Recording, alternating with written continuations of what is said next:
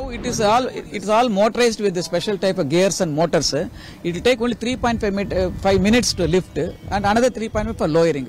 So everything is controlled with the four uh, motor, the heavy gear systems are there in my mission room uh, at this, level. and that will uh, help in uh, once motors are on, it will lift and lower. It, it takes only 3.5 minutes. What about that bridge, the old bridge? That is all manually they have to operate by hand. How long it It takes minimum 45 minutes to open and 40 minutes to close. Now it is only 3.5 minutes, all motorized with gear system, with full safety system has been installed in that.